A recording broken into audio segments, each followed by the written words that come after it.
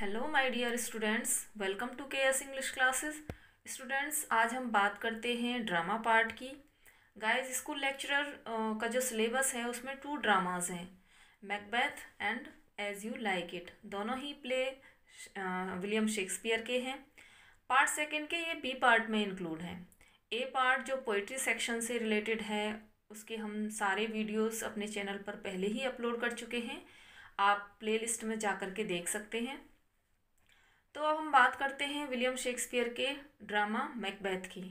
सो so guys आज हम Macbeth play की हिस्ट्री एंड कुछ इम्पोर्टेंट बातें डिस्कस करने के साथ साथ इसके कैरेक्टर्स के बारे में डिस्कस करेंगे। गाइज़ किसी भी राइटर के फ़ेमस वर्क के मेजर कैरेक्टर्स के साथ साथ माइनर कैरेक्टर से रिलेटेड क्वेश्चंस भी एग्ज़ाम्स में अक्सर पूछे जाते हैं। हमने अपने से, अपने इस वीडियो में सभी कैरेक्टर्स को इंक्लूड किया है और इसे एग्ज़ाम पॉइंट ऑफ़ व्यू से बेटर बनाने की कोशिश की है। उम्मीद है हमारा ये एफ़र्ट आपके एग्ज़ाम में हेल्पफुल होगा। तो गाइज़ स्टार्ट करते हैं बट उससे पहले वीडियो को लाइक एंड शेयर कीजिए चैनल को सब्सक्राइब कीजिए। So guys let's start so guys बात करते हैं पार्ट सेकेंड बी की ड्रामा फ़र्स्ट है मैकबैथ एंड सेकंड है एज़ यू लाइक इट। और आज हम बात करेंगे मैकबैथ की। और दोनों ही प्ले विलियम शेक्सपियर के लिखे हुए हैं। सो बात करते हैं मैकबैथ की। तो सबसे पहले बात करते हैं इसके कंप्लीट टाइटल की। तो इसका कंप्लीट जो टाइटल है, वो है द ट्रेजिडी ऑफ़ मैकबैथ। इसका जो फुल टाइटल है, वो है द ट्रेजिडी ऑफ़ मैकबैथ। इसे स्कॉटिश प्ले भी कहा जाता है। ये कंपोज हुआ था sixteen zero six it means सोलह सौ छः में। इसे लिखा गया था। फ़र्स्ट पब्लिश्ड भी ये सौ छः में हुआ था सिक्सटीन ज़ीरो सिक्स में हुआ था। बट ये सेकंड पब्लिश्ड हुआ था sixteen twenty three in first folio ये जो विलियम शेक्सपियर का जो फ़र्स्ट फोलियो था, उसमें ये सेकेंड टाइम पब्लिश हुआ था सिक्सटीन ट्वेंटी थ्री को। अब बात करते हैं इसके चीफ सोर्सेज की। तो गैज़ यहाँ से क्वेश्चंस अक्सर पुटअप होते हैं कि जो मैकबैथ है, उसके चीफ सोर्सेज क्या हैं? तो जो मेन सोर्स है इसका वो तो है राफेल हॉलिन शेड का chronicles of chronicle of England and Scotland नाम की जो रचना है, जो इसका वर्क है राफेल हॉलिन शेड का वो जो है मेन uh, सोर्स है इसका तो Macbeth is based on writings of a sixteen century historian जो सिक्सटीन सेंचुरी हिस्टोरियन थे इतिहासकार थे राफेल हॉलिन शेड उनकी chronicle of England and Scotland जो वर्क है ये इसका मेन सोर्स है। और ये जो हॉलिन शेड की जो बुक है ये जो पब्लिश्ड हुई थी ये प्रिंटेड हुई थी फ़र्स्ट टाइम जो है प्रिंटेड हुई थी फिफ्टीन सेवनटीन में। But Shakespeare use the revise version of fifteen eighty seven लेकिन शेक्सपियर ने अपनी जो जो प्ले है अपना मैकबैथ उसमें फिफ्टीन एटी सेवन का जो रिवाइज वर्जन था, उसे जो है इसमें यूज़ किया है। अब बात करते हैं इसके अदर सोर्सेज की। सो अदर सोर्सेज हैं कैंपेज नाइन डेज़ वंडर ये फ़र्स्ट सोर्स है इसका अदर्स में William Stewart's bulk of the chronicle of Scotland ये एक लॉन्ग पोएम है जो लगभग फोर्टी थाउज़ेंड लाइन्स की है। Guys I repeat again William Stewart's bulk of the chronicle of Scotland ये लॉन्ग पोएम है जो लगभग फोर्टी थाउज़ेंड लाइन्स की है। Buchanan's history of Scotland Buchanan का वर्क है history of Scotland the king James James first जो kings हैं जेम्स फ़र्स्ट उनके कुछ वर्क्स हैं जो इसके अदर सोर्सेज में आते हैं, जैसे counter blast to tobacco the true law of free monarchies Basilikon Doron Daemonology a fruitful meditation ये वर्क हैं किंग जेम्स फ़र्स्ट के। इसके अलावा अदर्स जो वर्क हैं, Agamemnon, Lucrece and the English Bible. यहाँ से भी जो विलियम शेक्सपियर हैं, उन्होंने कुछ सोर्सेस लिए हैं अपने प्ले मैकबैथ में।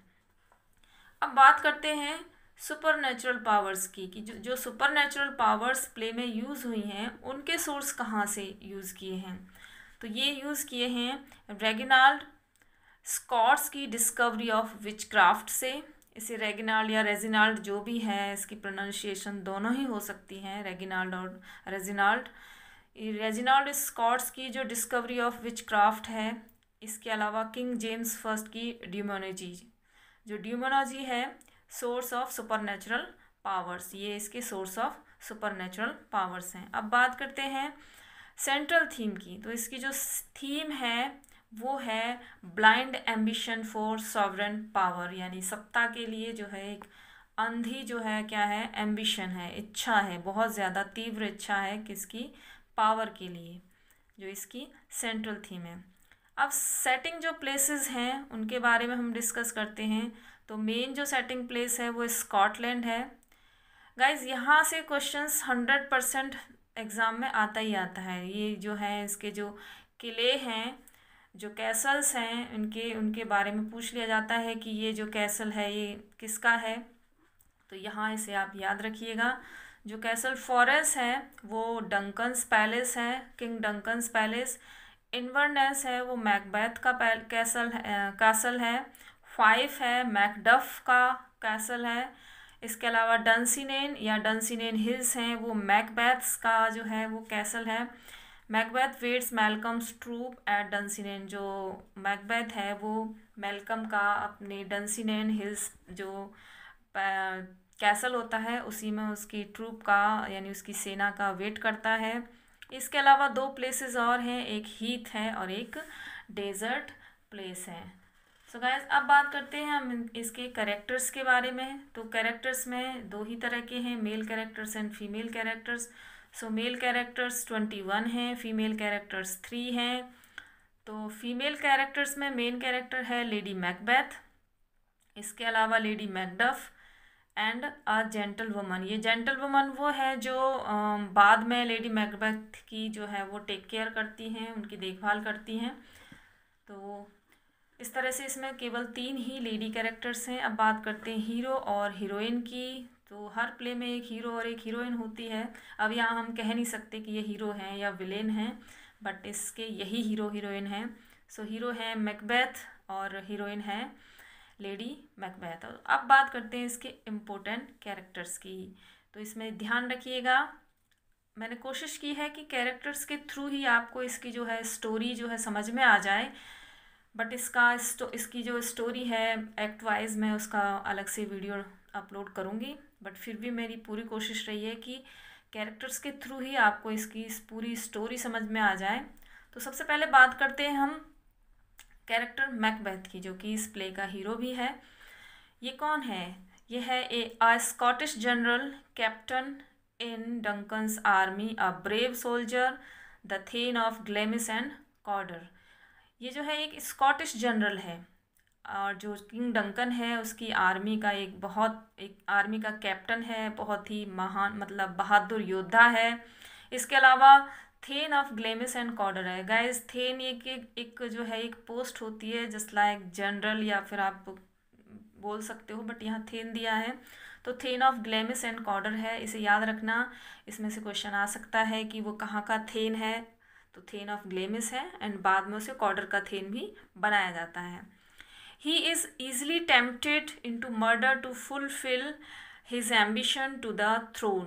When three witches predict that he will one day be king of Scotland, वो इजीली जो है वो किंग डंकन का मर्डर करने के लिए तैयार हो जाता है, उसकी एम्बिशन होती है जो है थ्रोन को पाने के लिए तो वो उसकी तरफ़ वो टेम्पटेड हो जाता है, वो आकर्षित हो जाता है इजीली कब होता है वो आकर्षित? उसकी तरफ़ when three witches predict that he will one day be king of Scotland जब जो तीन विचेज होती हैं वो ये भविष्यवाणी करती हैं कि एक दिन वो क्या बनेगा? स्कॉटलैंड का राजा बनेगा। तो वो उनकी इस भविष्यवाणी को का वेट नहीं करता पूरा होने का। वो सिर्फ़ उसे खुद ही कंप्लीट करने का है। उसे फुलफिल करने का जो है वो आ, वो कोशिश करता है। यानी वो उसे खुद ही अपने हाथ में ले लेता है अपने हैंड्स में ले लेता है कि वो इस भविष्यवाणी को खुद ही पूरा करेगा और वो इसलिए वो किंग डंकन का मर्डर कर देता है। He takes his fate into his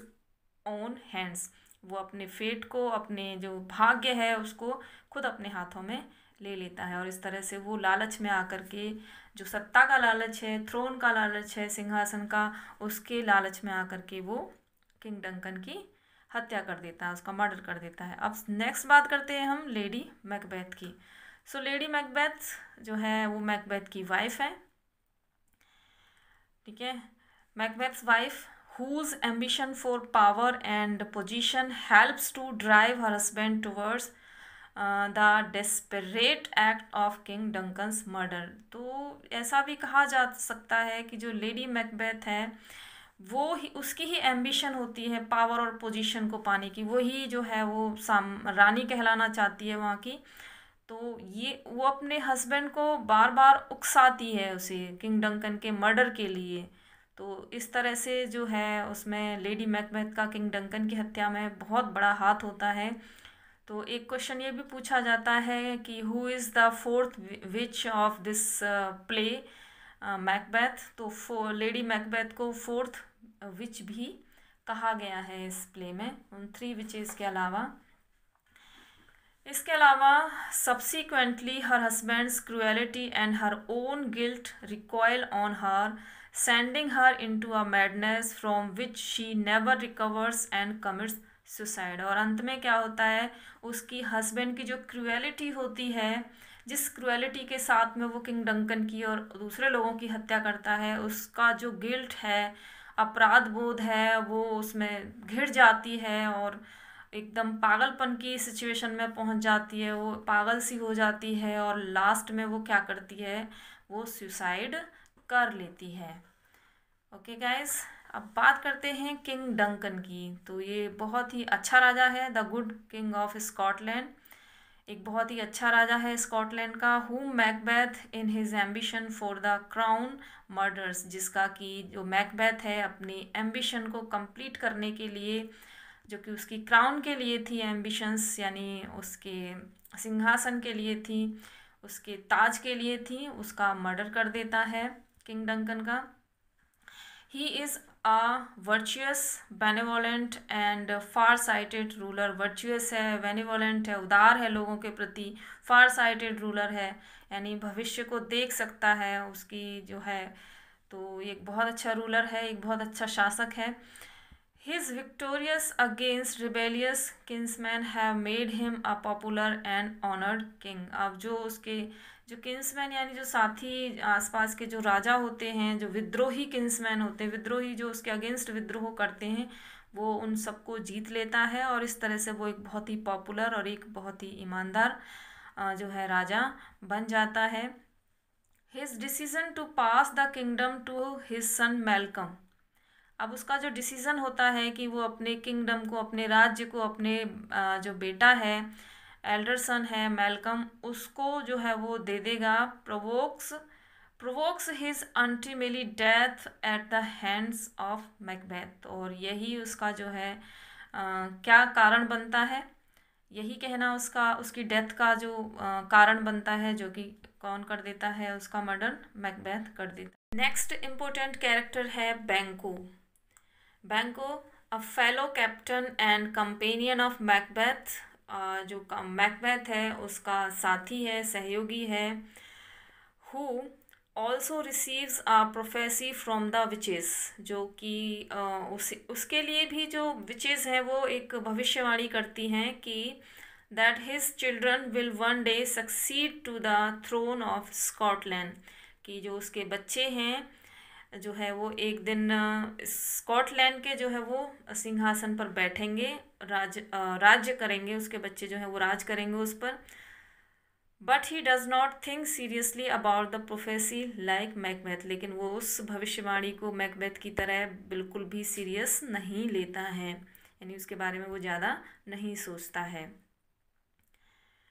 But this information is sufficient to spell his death at the hands of Macbeth. लेकिन ये information जो विचेस देती हैं कि भाई उसके जो बच्चे हैं, वो स्कॉटलैंड पे राज करेंगे, उसके राजा बनेंगे और कई पीढ़ियाँ उसकी राज करेंगी तो ये जो है मैकबैथ को अच्छा नहीं लगता और वो इस तरह से वो जो है उसकी भी उसकी भी हत्या करवा देता है, उसका भी मर्डर करवा देता है और बाद में यही उसकी डेथ का कारण बनता है। Later Banquo's ghost haunts Macbeth और बाद में जो बैंकों का घोस्ट है, वो मैकबैथ को डराता है। तो यहाँ देखिए गाइस ये दो तीन क्वेश्चंस इसमें से पुटा पुटअप हो रहे हैं। His children will one day तो उन्होंने क्या जो है वो प्रोफेसी की थी, वो इस तरह से हैं। इसके अलावा जो है बैंकों की डेथ में किसका हाथ होता है? मैकबैथ का। और बाद में जो डराता है वो किसका? जो घोस्ट होता है वो बैंकों का घोस्ट होता है। अब नेक्स्ट बात करते हैं हम मेलकम की। सो so, जो मेलकम है वो the eldest son of king Duncan जो किंग डंकन है उनका बड़ा बेटा है। The heir of heir to the throne and brother to Donalbain जो सिंहासन है स्कॉटलैंड का उसका उत्तराधिकारी है और डोनेल्बिन जो उसका छोटा भाई है उसका मतलब भाई है। Fearful of implication in his father's murder. और अपने फादर के मर्डर से वो क्या है, वो डरा हुआ है, बहुत ज़्यादा डरा हुआ है तो वो क्या करता है? He flees to England after his father's assassinations अपने पिता के मर्डर के बाद वो कहाँ चला जाता है? भाग जाता है स्कॉटलैंड छोड़ के चला जाता है इंग्लैंड तो ये क्वेश्चन बनता है कि मेलकम जो है, वो कहाँ चला जाता है? इंग्लैंड चला जाता है। Where he raises a large army with the support ये सपोर्ट है। With the support of Macduff जहाँ पे वो मैकडफ के सपोर्ट से एक बहुत बड़ी सेना तैयार करता है। Later he becomes a serious challenge to Macbeth और बाद में वो मैकबैथ के लिए एक बहुत बड़ा चैलेंज साबित होता है। नेक्स्ट है डोनाल्बिन जो डोनाल्बिन है, वो किंग डंकन का छोटा बेटा है और मेलकम का छोटा भाई है। King Duncan's youngest son and Malcolm's younger brother. He flees to Ireland after his father is murdered by Macbeth और जब मैकबैथ उसके फादर की हत्या कर देता है, उसका मर्डर कर देता है तो वो आयरलैंड चला जाता है। गाइज़ रिमेंबर मेलकम जो उसका बड़ा बेटा है किंग डंकन का, वो इंग्लैंड भाग जाता है और डोनाल्ड बिन जो छोटा बेटा है, वो आयरलैंड चला जाता है स्कॉटलैंड को छोड़ करके। अब बात करते हैं नेक्स्ट फ्लियंस फ्लियंस जो है, वो बैंको का बेटा है। तो Fleance Banquo son who by escaping Macbeth's plot on his life will go on to be father to a line of king according to the witch is prophecy ये बैंकों का बेटा है जो, और ये जो है लगभग इस मैकबैथ का जो प्लॉट है, प्ले है, इसमें से ही लगभग गायब हो जाता है। एक आध बार ही इसको इसमें नोटिस किया गया है, दिखाया गया है। तो इसमें क्यों, आई थिंक क्यों नहीं दिखा गया, दिखाया गया? क्योंकि will go on to be father to a line of king according to the witches prophecy क्योंकि विचेज़ ने जो प्रोफेसी की थी, जो भविष्यवाणी की थी कि जो बैंकों के जो बच्चे हैं, उनकी पूरी एक लाइन जो है वो क्या करेगी जो स्कॉटलैंड है उस पर राज करेगी। तो जब बैंकों की, का मर्डर होता है तो उस समय स्पेशली जो मर्डर्स को भेजता है मैकबेथ, वो स्पेशली फ्लियंस को मारने के लिए भेजता है, लेकिन फ्लियंस वहाँ से बचकर भाग जाता है और बैंक को मारा जाता है। सो so नेक्स्ट बात करते हैं मैकडफ की। सो so मैकडफ जो है वो अथेन एक थेन है स्कॉटलैंड का ही. एक नोबल मैन है who discovers the murdered of king Duncan जो किंग डंकन का जो मर्डर होता है, वो जो है उससे खोज लेता है, उसके जो राज होता है मर्डर का, कि किसने किया है, वो इस तरह से उसे पता लगा लेता है. Suspecting Macbeth and eventually turning against him और वो मैकबैथ पर सस्पेक्ट करने लगता है उसे उसके शक के घेरे में आ जाता है मैकबेथ, उसके और बाद में क्या होता है कि उसके खिलाफ हो जाता है। Macduff later flees to England and join Malcolm और बाद में मैकडफ इंग्लैंड चला जाता है, भाग जाता है स्कॉटलैंड को छोड़ करके और मेलकम को वहाँ पे ज्वाइन कर लेता है। सो गाइज़ ये भी याद रखिएगा कि मैकडफ कहाँ चला जाता है, कहाँ भाग जाता है, स्कॉटलैंड को छोड़ करके इंग्लैंड चला जाता है। When Macbeth arranges murder of his wife and children Macduff swears personal revenge. और जब मैकबैथ जो है, उसके मैकडफ के वाइफ और बच्चे का जो है मर्डर करवा देता है, तब वो कसम खाता है उससे अपना पर्सनल रिवेंज लेने की। अब बात करते हैं, नेक्स्ट है द विचेस, जो थ्री एजेंट्स ऑफ़ फेट, यानी इन्हें भाग्य की जो है, क्या कहा जाता है? एजेंट कहा जाता है। ये थ्री एजेंट्स हैं मिडनाइट्स स्पिरिट, इन्हें मिडनाइट स्पिरिट्स भी बोला जाता है। They are prediction prompt Macbeth to kill king Duncan and Banquo और उन्हीं के प्रिडिक्शन के लालच में आकर के मैकबैथ क्या करता है? किंग डंकन और बैंको की हत्या कर देता है, उन्हें मार देता है। Later they appear to confirm the downfall and tragic destiny of the tyrannical Macbeth, और लास्ट में जब वो अपियर होती हैं, वो ये कंफर्म करने के लिए अपीयर होती हैं, प्रकट होती हैं प्ले में कि जो किंग जो मैकबैथ है, उसके डाउनफॉल को कंफर्म करने के लिए और ट्रेजिक डेस्टिनी यानी उसकी बहुत ही ख़राब दुर्भाग्य जो है वो लिखती हैं, बताती हैं उसके बारे में, जिससे क्या होगा टायरानिकल जो आतंक का पर्याय बन चुका है मैकबैथ वो, उसका डाउनफॉल हो जाए और वो ख़त्म हो जाए। नेक्स्ट बात करते हैं हेकेट की। हेकेट भी एक बहुत ही इम्पोर्टेंट कैरेक्टर है। The goddess of witchcraft ये जितना भी जादू टोना होता है, उसकी गॉडीज़ हैं, उसकी देवी है she is refer to as the queen of the three witches यहाँ ऐसे जो थ्री विचेज़ हैं, उनकी क्वीन के रूप में रेफ़र किया गया है, बताया गया है। She presides over all nocturnal nocturnal horrors और जितने भी जो है वो डरावनी चीज़ें होती हैं उनकी वो क्या करती है मतलब जितना भी जो भी जादू टोना होता है, वो उनकी क्या है एक तरह से अध्यक्ष है या फिर आप कह सकते हो कि उनकी रानी है। She thinks that Macbeth is ungrateful and doesn't deserve their help और वो ये सोचती है कि मैकबैथ है वो एक अनग्रेटफुल एंड अनग्रेटफुल है यानी बिल्कुल भी उनके प्रति कृतज्ञ नहीं है तो इसलिए वो क्या करती है वो सोचती है कि आ, वो उनकी हेल्प को डिज़र्व नहीं करता है। She wants the witch is that she will set up illusions to confuse Macbeth and give him a false sense of security वो जो थ्री विचेज़ हैं उनको वॉन्स कर वॉर्न करती है वार्निंग देती है कि वो एक ऐसा सेटअप करने वाली है इल्यूजन्स का, जिसमें वो मैकबैथ को कंफ्यूज कर देगी और उसे जो है एक सेंस ऑफ़ सिक्योरिटी एक मतलब झूठा सेंस ऑफ़ सिक्योरिटी देगी, यानी कि असलियत उसे नहीं बताएगी। तो नेक्स्ट जो हमारा कैरेक्टर है, वो है पोर्टर जो पोर्टर के बारे में हम बात करते हैं। ये गेट कीपर है मैकबैथ के कैसल का।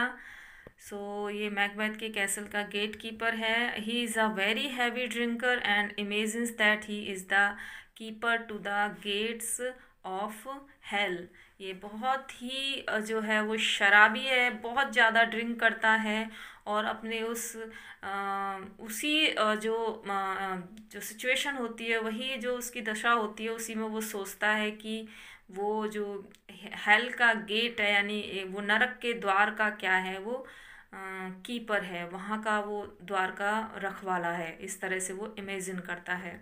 नेक्स्ट है Lennox Lennox he is a young thane attending on king Duncan और ये एक यंग थेन है जो किंग डंकन के ही दरबार में है। He accompanies Macduff and morning of Duncan's in the morning of Duncan's murder और जब मैकडफ किंग डंकन के मर्डर के बाद उसके चैम्बर में जाता है। मैकबैथ के कैसल में तो ये उसके साथ ही होता है। कौन होता है? लेनॉक्स होता है। तो ये यहाँ से क्वेश्चन हो सकता है। And notes that he cannot remember as stormy night as the preceding one और वो ये नोट करता है कि उसने अपनी लाइफ में इतनी तूफ़ानी रात पहले कभी भी नहीं देखी जैसी कि वो अभी जो पिछली रात थी। He becomes suspicious of what he sees और वो जो कुछ भी देखता है उसके प्रति उसे बहुत ज़्यादा संदेह होता है हो जाता है। He was fearful for the fate of Scotland और वो स्कॉटलैंड के भाग्य के लिए भी बहुत ज़्यादा क्या होता है भयभीत हो, होता है। तो नेक्स्ट हम बात करते हैं इम्पोर्टेंट कैरेक्टर रॉस की। He is a Scottish noble man and lady Macduff's cousin ये एक स्कॉटिश नोबल मैन है और लेडी मैकडफ का लेडी मैकडफ का कज़िन है। तो ये याद रखिएगा रॉस लेडी मैकडफ का कज़िन है। He acts as a messenger in the play ये पूरे प्ले में मैसेंजर का रोल जो है वो प्ले करता है। तो ये क्वेश्चन पूछा जा सकता है कि who is the messenger of the in the play या who acts as a messenger in the play तो रॉस है वो। He brings Macbeth the news of news that Duncan has made him thane of Cawdor ये जो है Macbeth के पास में इस न्यूज़ को लेकर के आता है कि डंकन ने उसे थिन ऑफ़ कॉर्डर बना दिया है। He joins Malcolm and the English army बाद में ये मेलकम को ज्वाइन करता है और इंग्लिश आर्मी को ज्वाइन करता है, जो कि सेना मैकबैथ के ख़िलाफ़ लड़ रही होती है। He brings bad news of Macduff's families murder इसके अलावा वो एक बहुत ही बुरी खबर भी लेके जाता है कि मैकबैथ ने मैकडफ की फैमिली का क्या कर दिया है? मर्डर कर दिया है। तो इस तरह से ये ज़्यादातर जो है, क्या है, एक मैसेंजर की फॉर्म में ही होता है। उसी को प्ले करता है। अब नेक्स्ट बात करते हैं सेटन की। सेटन जो है ही इज़ मैकबैथ लेफ्टिनेंट ये एक लेफ्टिनेंट होता है मैकबैथ की आर्मी का। और अब बात करते हैं हम ओल्ड सिवार्ड की। So old Siward, the earl of north Northumberland ये नॉर्थ अम्बरलैंड का अर्ल है। He is a veteran soldiers of the English kings and Malcolm's uncle ये एक, जो है, एक सिपाही रह चुका है इंग्लिश राजा के यहाँ पे। इसके अलावा ये मेलकम का अंकल भी है। He is the leader of the English troops land to Malcolm to retrieve his throne his throne और ये उस ट्रूप का, यानी उस सेना की उस टुकड़ी का जो है एक लीडर होता है, जो कि मेलकम को उसका जो थ्रोन है, उसे वापस दिलाने में उसी, उसकी हेल्प करती है। यानी कि ये मैकबेथ के खिलाफ मेलकम के साथ में युद्ध लड़ता है। On hearing of his son's death his only fear is that the young man may have been killed from behind अब जब ये अपने बेटे की जो यंग सिवार्ड होता है, उसके डेथ की न्यूज़ जब इसको, इसके पास जाती है, ये जब सुनता है तो उसका सिर्फ़ यही डर होता है कि उसका जो बेटा है उसे शायद मैकबैथ ने पीछे से ही मारा होगा मतलब उसे धोखे से ही मारा होगा। तो उसे एक बार को विश्वास नहीं होता है। कि उसके बेटे की डेथ हो गई है बट फिर वो यही सोचता है कि उसके बेटे को ज़रूर मैकबैथ ने धोखे से, पीछे से ही मारा होगा। नेक्स्ट है यंग सिवार्ड ये जो है ओल्ड सिवार्ड का बेटा है general of the English forces in the battle against Macbeth और जो मैकबैथ के अगेंस्ट जो सेना लड़ रही है, युद्ध युद्ध कर रही है, उसका ये जनरल होता है। Macbeth kills him in the final battle और अंत में जो लड़ाई होती है फाइनल बैटल में मैकबैथ इसे मार देता है। He is based on the real life historical figure of Osborn Bulax अब ये जो मैकबैथ प्ले में विलियम शेक्सपियर ने यंग सिवार्ड का जो कैरेक्टर डाला है, ये एक रियल हिस्टोरिकल फिगर पर बेस्ड है और जो रियल नेम है वो है ऑसबॉर्न बुलैक्स तो मे बी यहाँ से क्वेश्चन आ सकता है कि हिस्टोरिकल जो फिगर है रियल लाइफ की हिस्टोरिकल फिगर पे कौन सा कैरेक्टर बेस्ड है तो यंग सिवाड़ अब कुछ इसमें बहुत ही माइनर कैरेक्टर्स हैं, जैसे कि मैंटियथ कैथनेस एंड एंग्विस और ये जो हैं, ये the noble man of king Duncan court ये किंग डंकन के दरबार के जो हैं, वो नोबल पर्सन हैं। सो गाइज़ यहाँ हमारा ये वीडियो लेक्चर फिनिश होता है और हमने पूरी कोशिश की है कि हम मैकबेथ के जो कैरेक्टर्स हैं माइनर और मेजर कैरेक्टर्स सभी को इसमें इंक्लूड किया करें और हमने इसमें किया भी है सभी को इंक्लूड और हमने ये भी कोशिश की है कि कैरेक्टर्स के थ्रू ही आपको ये सारी स्टोरी जो ड्रामा की स्टोरी है, वो समझ में आ जाए। तो नेक्स्ट वीडियो हम इसकी कुछ कोटेशंस हैं, जो कि एग्ज़ाम पॉइंट ऑफ़ व्यू से बहुत ही इम्पोर्टेंट हैं। तो हम उस पर नेक्स्ट वीडियो अपना बनाने वाले हैं। तो उम्मीद करती हूँ आपको ये वीडियो पसंद आया होगा। तो वीडियो को लाइक कीजिए शेयर कीजिए और चैनल को सब्सक्राइब कीजिए। Have a nice day all of you